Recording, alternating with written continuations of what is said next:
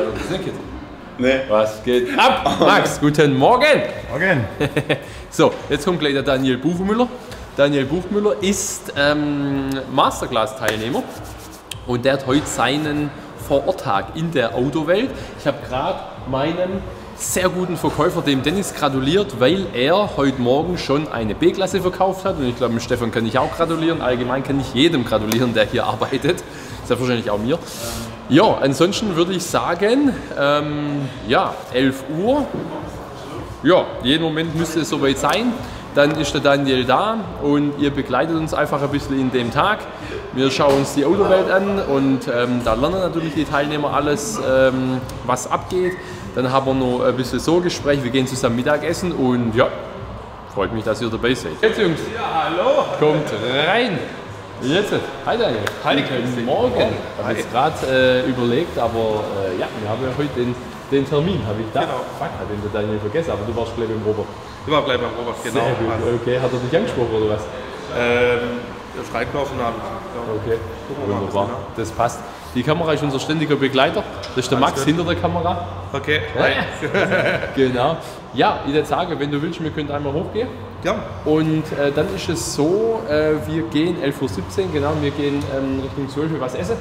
Danach haben wir nochmal äh, ein bisschen äh, äh, Zeit und ja, können wir uns alles angucken. klar. Wunderbar. Super. Super. Sehr gut. Ähm, einfach bewusst herbeigeführte Bereiche, wo der Kunde seine Ruhe hat, dass er länger hier bleibt und nicht sagt, ja, ist okay, aber ich gehe nochmal heim und Ja. ich gehe schön zu McDonalds was essen, sondern können in Ruhe auf Seite sitzen. Nach der Probefahrt wird das Auto direkt vor die Nase gestellt, können Sie auch noch ein bisschen was anschauen. Kaffeebar, immer mal wieder auch Treffpunkt für die Verkäufer und Außensprechanlage hast du gehört. Ja? Ja, da kommen alle 20 Minuten geile Bandansage, zwei Minuten, mit alle Services, was wir so anbieten. Ähm, ja, vielleicht hören wir das nachher, wenn wir, wenn wir Glück haben. Genau. Dann ist es bewusst gemacht worden. Die Anlage? Ja. Ach ja. Wie, hast du da, wie kam es dazu? Ich habe gedacht, wenn die Kunden da sind, informieren wir sie bestmöglich. Ja. Ähm, und alle Kunden werden hier eigentlich immer sehr schnell angesprochen. Aber es kann natürlich immer mal sein, okay, wenn drei Verkäufer alle doppelt im Gespräch und dann kommen noch mehr Kunden, deshalb möchte ich einfach, dass die Stimmung hier locker ist und dass man eine Info kommt, deshalb läuft auch Musik. Ah, genau. Und Susanne? Ja, Susanne Beck. Okay. Genau, Katharina Assistenz. Hier ist die Firmenassistentin und hinter immer am Puls Beck. Die ist auch da, weil wir ein neues Büro installieren hier, da gehen wir nach oben. Ja. Dann Wasser, wie das das Was ist denn Wasser hier? Erklär das mal. Kennst du das? Nein, immer noch nicht. Okay. Äh, jeder Kunde, der hier ein Auto kauft oder verkauft, oder äh, jeder neue Mitarbeiter, der seinen Arbeitsvertrag unterschrieben hat, muss bassern. Dann klatscht einmal die ganze Firma und ähm, das, das macht den Leuten Spaß. Cool. Ja, also das ist, das ist wirklich ähm, so, ja, kleines Alleinstellung. Das ist halt un, unsere Kultur. Ja, das ist, äh, wir machen hier äh, alles mit, mit Energie. Ähm, das ist uns ganz wichtig. Wir, das, wir wollen das einfach nicht langweilig haben. Autokauf ist, ähm, muss ein Erlebnis sein. Das machen die Leute alle, alle paar Jahre und deshalb dafür ist der, ist der Wasser. Cool. Ja. Genau. Laura und Tobi, Masterclass äh, verkäufliche Tobi. Laura ist äh, Empfangsassistenz. Ähm, dann hier sitzt der Dennis. Verkauft. Das ist ein geiler Roller, der wird fleißig benutzt für den Hof. Ja. Ähm, ich bin gespannt, wen es als erstes legt. ähm, alle Verkäufer haben einen Bildschirm. Und zwar, da laufen immer Bilder und Bewertungen. Immer Bildbewertung, Bildbewertung. Gut, ja. Dass die Leute einfach wissen, ihr seid hier richtig, ähm, euresgleichen sind hier glücklich geworden und deshalb, ähm, das, das, das hat sich schon als, als äh, ganz, ganz gut erwiesen. Ja. Das zeige ich dir aber gleich von oben. Hier ist dann äh, Fahrzeugbeschaffung, wenn Kunden herkommen und hier hinten in diese ganze Box sitzt Fahrzeugbeschaffung und so weiter und so fort. Da haben wir Matthias, wie viel Fahrzeugbeschaffer habt ihr aktuell? Fünf? Fünf, fünf Stück aktuell, ja, genau. Ähm, dann David der Züge hoch, Rocco ist Schlüsselbilder und äh, regelt die äh, Preisauszeichnungen und Empfang. Und ähm, ja, hinten ist eigentlich nur ein Restaurant, hier geht schon wieder los. Du siehst, das ist ähm, hier alles recht effizient gehalten, genau, stimmt. kompakt und effizient. Wir sind nah beieinander, die Energie ist nah beieinander. Ähm, und man immer natürlich mit Blick auf die Kosten. Ja. Hier ist unsere kleine Walk of Fame, so ein bisschen der Werdegang von, wie hat es irgendwann mal äh, angefangen und das war ein Industriegebiet, den Standort haben wir immer noch. Ähm, und dann was halt so nacheinander so ein bisschen passiert ist. Ein paar Bilderrahmen fehlen, es sind immer, immer wieder neue Dinge passiert. Aber und das ist ganz wichtig, wir warten nicht, bis es passiert, wir machen, dass es passiert. Das ist ganz, ganz, ganz wichtig. Genau, ja. Ja, so ist es. Genau, Stefan, Servus Verkäufer hat mal den Rekord hier äh, geschrieben mit 49 Fahrzeugen im Monat. Okay. Genau, das war gut. Das war gut. Jupp, den ich sage, gehen wir einmal hoch, oder? Jawohl.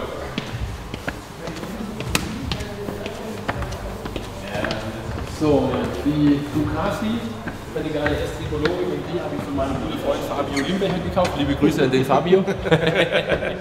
ähm, äh, genau, die habe ich von ihm. Größte Motorradhändler in Europa. Richtig Weiß geile Lösung. das ja. Dann hier sitzt die Laura, weil die Laura ist am Empfang und auch zeitweise im Personal, Personalassistenz. Ähm, Sandra ist Einkaufsleitung, dahinter sitzt der Jonas. Genau. Ähm, dann ähm, die zwei Tische sind einmal Videograf, das ist meine Frau hier. Dann der, der gerade schreibt, ähm, ist der Kevin, Fahrzeugbeschaffer. Dahinter sitzt der Andi. Grüß dich. Ähm, dann Timo, Fahrzeugbeschaffer. Der, sitzt, der da hinten sitzt bei meinem, bei meinem guten Rasenmäher. Nagelneue Husqvarna. Hör mal, Oh. mit, mit, mit Knicklenkung, nur dass ich es mal gehört habe. Ja, ganz enge Kreise fahren, dass ihr das wisst. Ja. Ähm, und da sitzt der Tobi, der betreut Masterclass-Kunden. Genau, ja, ja. Ja, also von dem her, das war mal als Werkstatt geplant.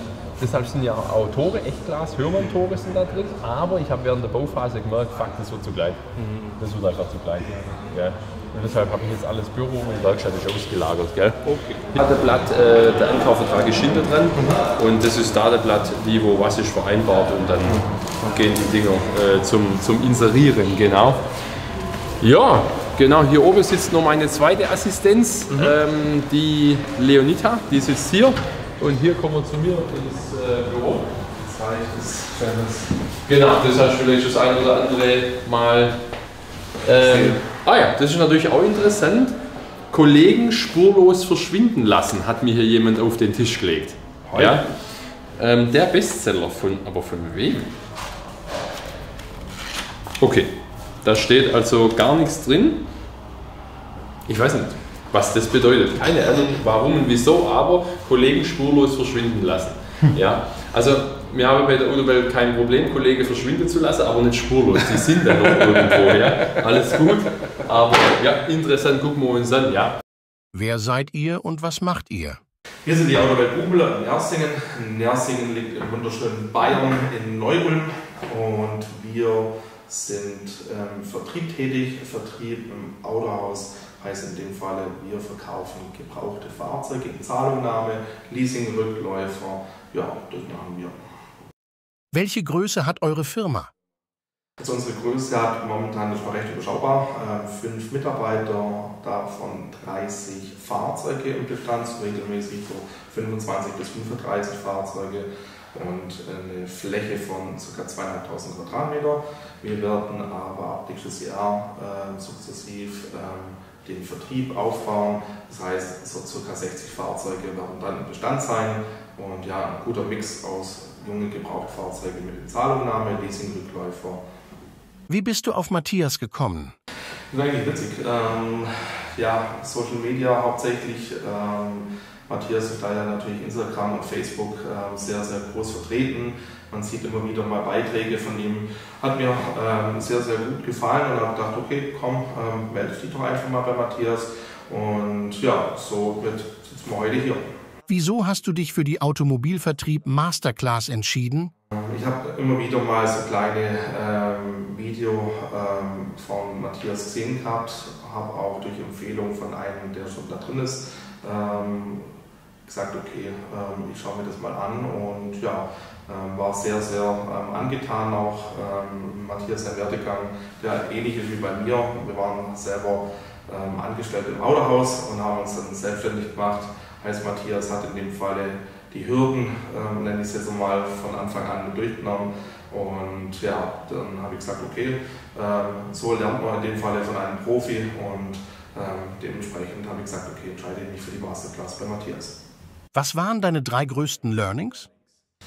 Meine drei größten Learnings ähm, waren gerade, ähm, wie geht es weiter, ähm, wenn man nicht weiter weiß, muss man sagen. Ja, das heißt in dem Falle ähm, gerade auch der Vertrieb aufzubauen, ähm, Personal ist zum Beispiel auch so eine Sache, wo ganz, ganz, ganz wichtig ist. Ähm, kostendeckend arbeiten heißt in dem Falle zu schauen, dass die Kosten im Rahmen bleiben. Ähm, das kann man sagen, war hauptsächlich diese Learnings. Was wirst du, dein Unternehmen, zusätzlich verdienen durch die Änderungen? Also ähm, was ich zusätzlich verdienen wird, ist ähm, ganz klar mehr Lebensqualität auch. Ähm, durch Matthias habe ich gelernt, wie die Mitarbeiterprozesse bzw. wie wir ins nächste Level ähm, starten. Ja. Also ich habe es davor immer alles alleine gemacht. Ähm, dann habe ich aufgebaut das Ganze mit zusätzlichen Fahrern, ähm, mit einer Aufbereitung etc. Pipapo jetzt ähm, auch mit unserer neuen Vertriebsassistenz, wo dann im Januar dazu kommt.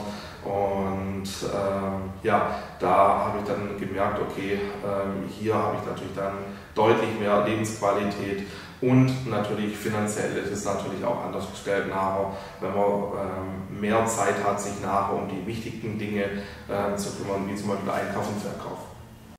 Würdest du die Automobilvertrieb Masterclass weiterempfehlen? Wenn ja, wem?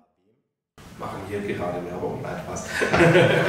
ähm, ja, tatsächlich würde ich sie weiterempfehlen und ähm, eigentlich muss man dazu sagen, zu jedem. Ja. Also es ist ja so, derjenige, wo sagt, er möchte in Automobilhandel gehen, Vertrieb ähm, selbstständig machen, wo noch nicht selbstständig auch ist ja, ähm, und dementsprechend nachher ähm, wirklich professionelle Hilfe ähm, ja, ich sage jetzt mal, sucht, ähm, dem empfehle ich das ganz klar. Ähm, jemand, wo was reisen möchte und ähm, sein eigenes ähm, Automobilimperium aufzubauen.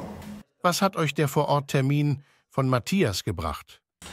Ähm, gut, man hat natürlich auch mal den Matthias auch A live gesehen, also nicht nur über die Social Media Kanäle, ähm, sondern hier live. Ähm, wir haben alle Bereiche von Matthias dementsprechend auch anschauen können ähm, und natürlich, was auch für mich ein weiterbringender ähm, Aspekt ist, nachher die